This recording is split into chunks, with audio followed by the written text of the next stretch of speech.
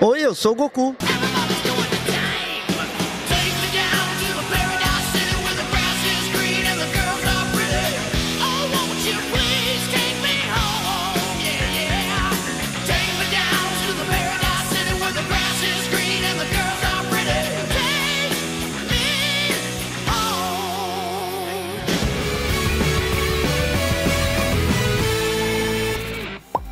Pessoal, tá começando o Play de hoje com ninguém menos do que Goku, não é isso?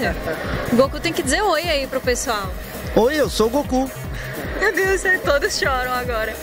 Gente, tô aqui com o Wendel Bezerra, que é conhecido por dublar todas as coisas que todo mundo ama. Assim, sendo bem, né, resumida. Wendel, fala pra mim, agora você virou youtuber. Como é que tá sendo isso? Já tá brincando com aqueles spinners de dedo, se enviando pelo correio, gostando de amoeba. Como é que tá sendo essa experiência? Ah, diferente, é curioso. É, começou meio que de brincadeira e, e aí as pessoas começaram a responder, a participar e tal. Aí o negócio foi crescendo e aí você começa a ter uma responsabilidade de ter que fazer sempre. Mas, tipo, tá indo muito bem, é muito legal. Hoje em dia eu me divirto. No começo eu não gostava muito de fazer, hoje eu me divirto fazendo os vídeos. Quando o Naruto era pequenininho, uh, ele Hokage das calças. Quando a gente gosta de fazer sempre é muito melhor. Sim. Agora eu queria, queria entrevistar mesmo Goku, né? Porque você é o Goku, sempre será. Agora isso aí não tem mais como voltar atrás. Mas eu quero um Goku diferente. Oi, eu sou o Goku. Goku assim mais do dia a dia, aquela coisa relaxada em casa. Olha o chute! Tipo no banho. O Goku canta no banho, né? Todo mundo canta no banho, não? Eu cantava bastante quando era adolescente, né? O Goku, o que, que ele cantaria? É. ah, Temos sugestões, temos Morango do Nordeste, Se ela é um morango aqui do Nordeste. Conga La Conga da Gretchen, Rainha dessa nação.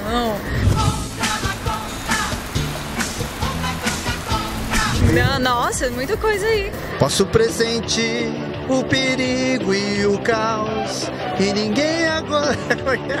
Vai me amedrontar. E a água lá, rolando. Mas não, não rola um. O Goku gosta de K-pop?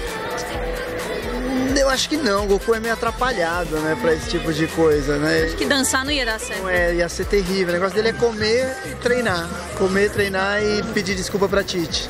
Não, realmente a Titi merece muitas desculpas, porque ela é uma mulher muito sofrida, gente. Não deve ser fácil ser mulher do Goku. Agora, a gente sabe que você dubla outro grande ícone, grandíssimo ícone, que é o Bud de Cake Boss. Gastronomia já se tornou aí cultura pop, não tem como mudar isso. Quem, quem gosta de assistir TV, quem gosta de ver seriado, gosta de comida, né? Eu, eu adoro comer, não sei cozinhar, não sei fazer nada. Eu quero até. Vou ver se eu faço um vídeo pro meu canal de eu tentando fazer uma receita do Buddy. E todos esses detalhes estão deixando o bolo perfeito. Por favor, faz isso, sério. Mas assim, pra viver essa experiência gastronômica que é o Nordeste, a gente trouxe itens, itens únicos. Assistente de palco, por favor. Nossa senhora.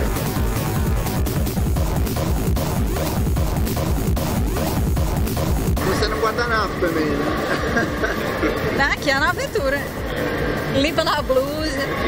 Tá aí pra. é, Essa toalha aqui é feita pra isso. Certo, vamos lá. Temos aqui vários itens. Tá reconhecendo algum assim? Tem algum chute? Ah, isso aqui é rapadura. Ah, isso aqui é uma farofa? Paçoca. Ah, uma paçoca. Porque lá paçoca envolve amendoim, né? Aqui não. Sim, sim, é exato. Isso aqui é torresminho, velho? Não, é castanha de caju cristalizada. Sério? Nossa, ótimo. Maravilhoso. Cajuína. E cajuína. Cajuína, você Não tomei. nunca tomou cajuína? Não, acho que não, acho que não tomei. Exclusive pro Uplay. Bud prova cajuína no Nordeste, a cajuína nordestina original, entendeu? Então vamos lá, que que você, como é que você quer começar essa aventura?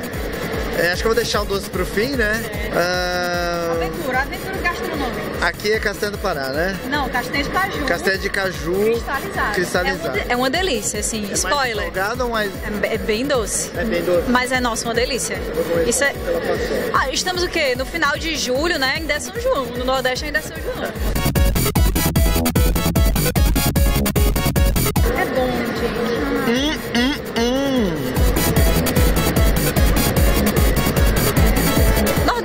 Isso é vida, é São João pra sempre. Dezembro temos São João também. Não Se depender de mim. Isso aqui não, né? Não, jamais. Isso aí é, é do Bud.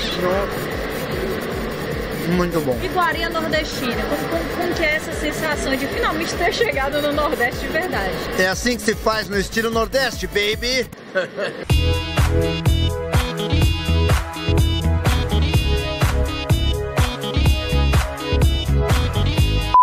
Rapadura já provou? Já provei porque minha mãe ela é de Fortaleza. Oh, Então e nunca tomou cajuína? não. Rapadura. Ô, alô, mãe do Endo. Eu vou conseguir aqui? Vai, vai conseguir, vai lá.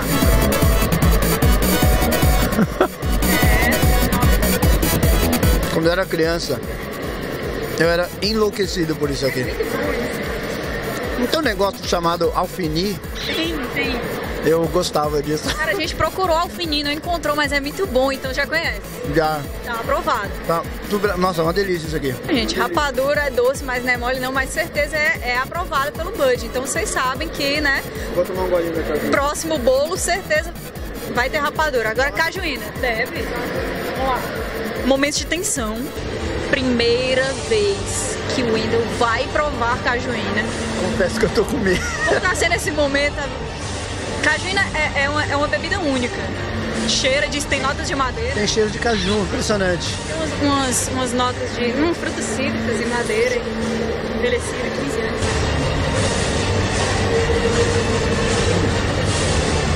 É bom.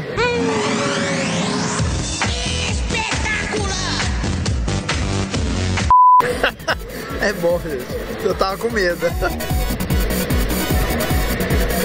Agora, era o que eu fiquei mais curioso.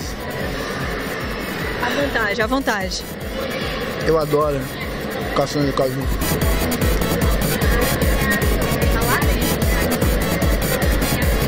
É muito, é muito diferente pra quem tá acostumado a comer castanha salgada, mas aqui a gente usa castanha com tudo. Cobre-se de chocolate, mergulha na cajuína, empana na farofa, qualquer coisa com castanha de caju no Nordeste tá valendo. Atenção, meus funcionários da Carlos Bakery. A partir de agora, vamos incorporar no nosso menu castanha de caju cristalizada diretamente do Nordeste, baby. Hum, hum, hum.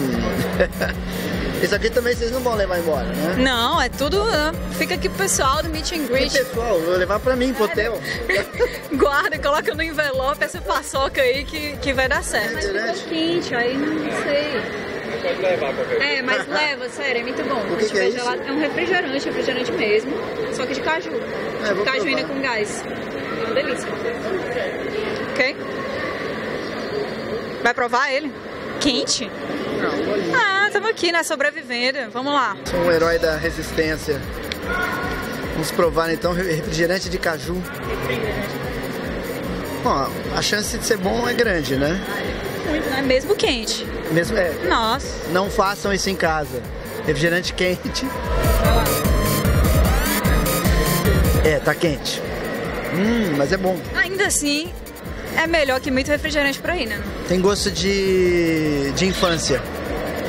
Gosto É aquele alfinim que ainda tá na, na tua memória. gostoso, gostoso. Agora sim, evento de anime é um, um lugar hostil às vezes, não é? Às vezes, às vezes. Não, em que sentido? Vou explicar. Por exemplo, você vem para evento de anime com aquele seu amigo, ele chega aqui às 10 horas da manhã, né? Esqueceu de passar desodorante, porque você sabe, né? Pro Sana a gente sai correndo de casa, tem medo de pegar fila, é, é um pouco tenso. É meio hostil. Então, aí você chega agora, 8 horas da noite, digamos, no meio do show, você tá lá, do lado do seu amigo, aquele cheiro, você não sabe o que fazer, ou então você vem pra cá, tem pouco dinheiro, encontra aquele boneco do Goku que você sempre sonhou em ter. A gente queria pedir dicas honestas do Bear Grylls de como sobreviver a um evento de anime. Eu sou o Bear Grylls e vou ensinar a você como sobreviver num ambiente hostil e perigoso, como um evento de anime. Primeiro você tem que levar elementos básicos de sobrevivência num evento como esse.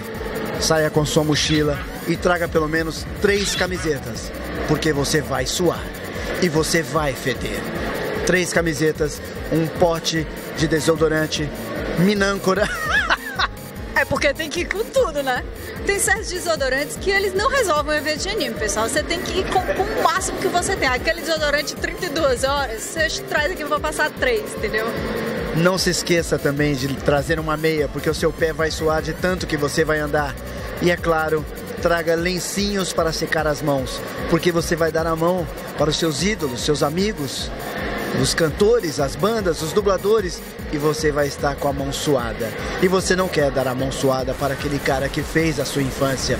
Passe lencinho nas mãos para poder dar a mão para ele. E se você for abraçar e beijar, não se esqueça de trazer escova de dente e antisséptico bucal.